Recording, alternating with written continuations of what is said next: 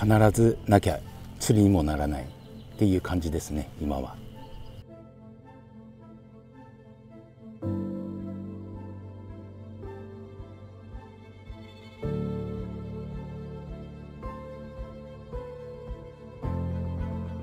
自分は大型魚って言われる例えば伊藤であったりとかアメマスであったら70オーバーとかレインボーでも70オーバーキングサーモンシルバーサーモンそういう大型魚をメインに釣りをしていることが多いです。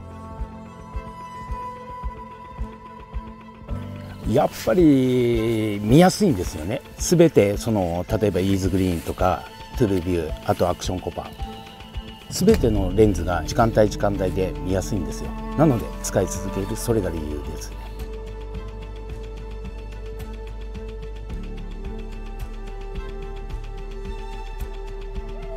ロッドやリールウェアとかそれと同じ位置にあるんですよ。してやっぱりあの自分の釣りはもうあの変更レンズがないともう成立しないですね。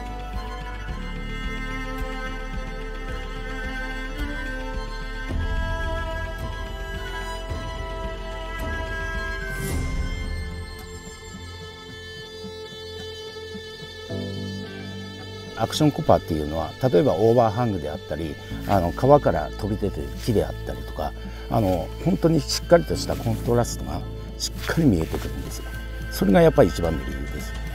これがその一匹を引っ張り出すあの鍵となるレンズでもあるんです。使い続けます。必ず。